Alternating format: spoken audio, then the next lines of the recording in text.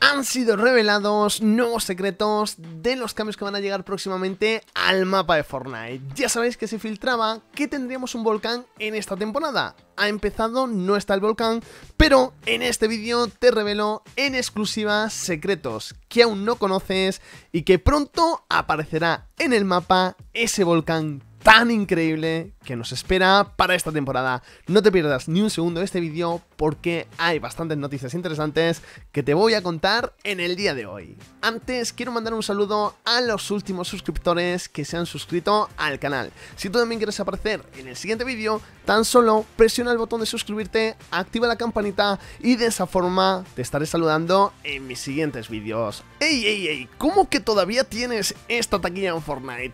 Eso es seguramente porque no le has dado like a este vídeo. Dale like y seguro tendrás tanta suerte para tener una taquilla tan épica como esta aquí. Muchísimas skins, skin bastante raras y exclusivas, así que deja el like que ayuda y también seguro da suerte. Y ahora sí chicos, vamos con la primera noticia del día de hoy, una noticia bastante interesante ya que las skins de Marvel y de DC han sido actualizadas en la API. Ahora podrían regresar en cualquier momento a la tienda de Fortnite. Sin embargo, no sabemos qué día estarán regresando. Cualquier skin que haya llegado anteriormente a la tienda, tanto de DC como de Marvel, podría regresar en los próximos días o en las próximas semanas. Sina nos cuenta algo bastante interesante acerca de la skin de Nick Fury.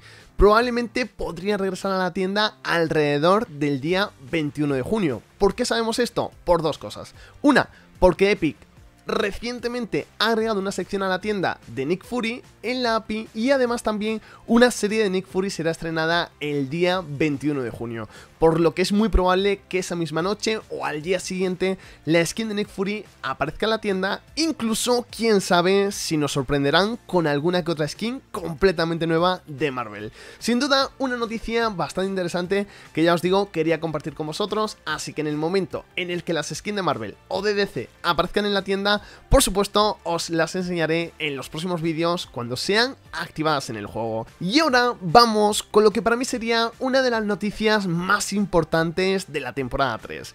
Como ya sabéis y como os contaba en el canal, en la temporada 2 se filtró que un volcán aparecería en la temporada 3. Hemos empezado la temporada y no hay ningún volcán por la isla. ¿Qué ha ocurrido, Zoco? ¿Por qué no ha sido activado? Pues te cuento lo que podría estar ocurriendo en las próximas semanas. En primer lugar tenemos varias pistas acerca del volcán. Si nos vamos al pase de batalla, podemos encontrar que tenemos en la página número 4 esta hacha fundida. Su descripción es destructora de rocas volcánicas. Si Epic no tuviera en mente un volcán, para nada, y créanme, hubieran agregado esta pista tan interesante dentro del pase de batalla. Pero es que aún hay más pistas. Si seguimos avanzando en lo que sería, pues digamos, esto de aquí, nos vamos hasta la página 6 del pase de batalla y tenemos la primera pista dentro de la skin de Relic, donde nos dicen erupción de ira, exprésate en el campo de batalla. Podría significar que cuando este jefe aparezca en el mapa, algo relacionado con un volcán aparezca en la isla, pues sería muy probable que esto ocurriese. Si te fijas también en la estela pone caída volcánica, enciende tu fuego. Todo apunta al volcán y aún más tenemos la skin de Relic que tiene como si fuera lava, magma a través de pues esa skin tan bonita y para mí una de las mejores de este pase de batalla. Así que lo más probable es que a lo largo de la temporada un volcán acabe apareciendo en la isla. Ya se filtró, como os decía anteriormente, en la temporada 2, pues que tendríamos rocas volcánicas. Fueron agregadas dentro de los archivos del juego junto pues a otras cosas de la selva, la selva ya ha sido activada y tan solo nos faltaría ese volcán que podría llegar, ya os digo, a lo largo de la temporada. Esta temporada sin duda ha empezado muy pero que muy bien y podría ser que Epic, su plan fuese que con las siguientes actualizaciones tuviésemos pequeños eventos en el juego, los cuales hiciesen que varias zonas fuesen cambiadas en el mapa. Como te digo, en la anterior temporada las rocas volcánicas fueron activadas en los archivos del juego y nos avisaban que podrían aparecer cerquita de la ciudad Mega. Actualmente la ciudad Mega está igual que estaba anteriormente, pero sí, la jungla ha aparecido muy muy cerquita de ese lugar.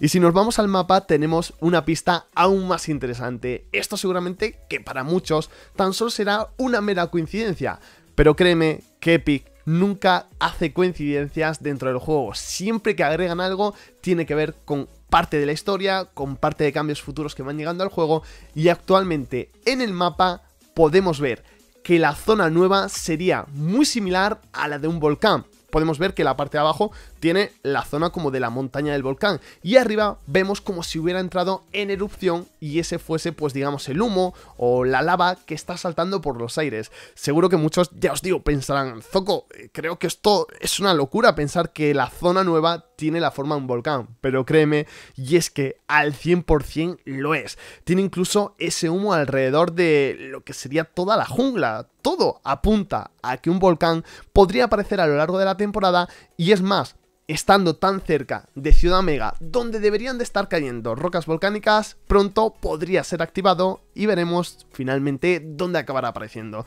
Yo creo que si no aparece en la montaña de Ciudad Mega, en esta aquí, sería raro, aunque lo lógico sería que apareciese en cualquier lugar de la jungla. Ojalá que pronto tengamos este grandísimo cambio, creo que le daría un toque bastante épico y espectacular al mapa, y esto debería estar regresando, como os digo, en las próximas semanas con las siguientes actualizaciones. De hecho, la semana que viene tenemos la primera, el martes, el día 20 de junio, se espera que llegue la 25.10 y ahí veremos si Epic sigue agregando algún que otro secreto al juego, algún secreto que nos lleve hasta ese volcán que ojalá y pronto sea activado en la isla de Fortnite. Otra de las cosas que os quiero enseñar sería esto de aquí. Como ya sabéis, en varias zonas del mapa, en este caso me encuentro en este templo, pues te piden una ofrenda. Esa ofrenda sería, pues dependiendo del color que tenga, tienes que darle un arma o un objeto de este color. En este caso nos piden el morado. Le das, le entregas el objeto que justo te lo tienes que equipar en la mano, una vez que se lo entregas te abre la puerta. Pero el problema y lo más complicado sería esta parte, la de que tienes que apagar fuegos o encender. Te explico cómo funciona esto ya que sería algo más rápido y fácil de cómo eh, lo hemos podido ver anteriormente. Lo que tienes que hacer sería subir a la parte de arriba de este templo, tienes que fijarte en esta de aquí, en esta de aquí, esta de aquí y esta de aquí, que serían las importantes. Esta no, eh, digamos, tiene nada que ver, solamente tiene que ver la de la esquina esta, esta esquina y la de esas dos. Como estáis viendo aquí aparece de la siguiente forma. Esta estaría encendida, esta está encendida, la de eh, ahí arriba la tenemos apagada Y esta también estaría apagada. Entonces, ¿qué significa? Que tenemos que apagar tanto esta como esta Como esta de aquí, que sería la del centro Vamos abajo y hacemos lo siguiente. Vais a ver que de esta forma sí que funciona. Apagamos esta Apagamos esta Y apagamos esta de aquí. Vale, no, no son estas justo. Vale, pues entonces son las de al lado.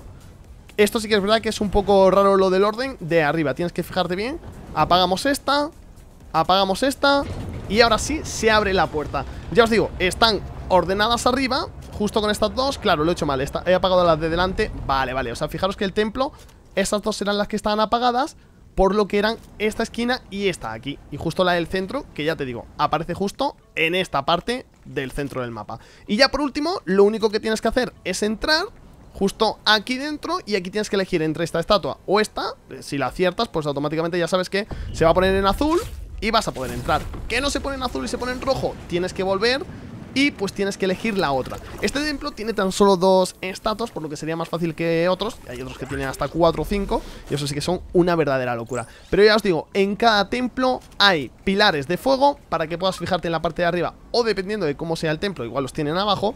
Y una vez que veas cuáles están encendidos y cuáles apagados Así de esa forma es muy fácil y ya puedes abrir y puedes entrar dentro de este lugar Que como estás viendo pues tiene loot espectacular. Tiene un montonazo de cofres legendarios y con esto te vas a poder hinchar en las partidas. Así que ya os digo, subí el otro día el vídeo al canal pero de esta forma os lo explico un poquito mejor ya sabiendo cómo funciona. Si te ha gustado el vídeo no olvides dejar tu like, suscríbete, activa la campanita y nos vemos en el siguiente. ¡Adiós!